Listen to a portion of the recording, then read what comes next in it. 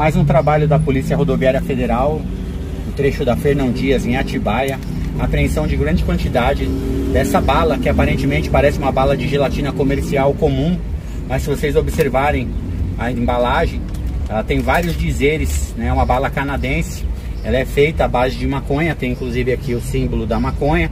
Está é, tá dizendo para manter longe das crianças, é, que é para maior adultos maiores de 21 anos. Mas a gente sabe que se estiver ao alcance de uma criança, isso daí provavelmente a, a chance dela é, ingerir, fazer uso é, dessa bala de maconha, né, que tem no, no seu princípio ativo aí o, o, princípio ativo da maconha, o tetraído canabinol. A bala é no formatinho de, de ursinho, a bala bem bonitinha, bem atrativa para as crianças, porém ela contém entorpecente, é vulgarmente uma bala de maconha.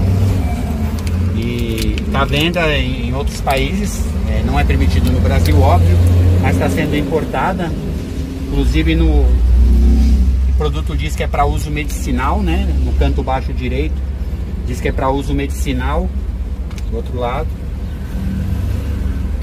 diz que é para uso medicinal mas as pessoas usam aqui como entorpecente. Foi apreendido com uma grande quantidade de rachixe e skunk no trecho paulista da Fernão Dias, seguia de São Paulo para Belo Horizonte.